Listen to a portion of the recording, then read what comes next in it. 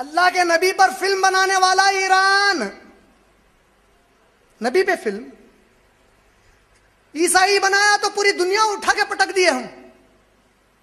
लेकिन इन्हें बना सकता अब नबी पे फ़िल्म। सहाबा पे फ़िल्म।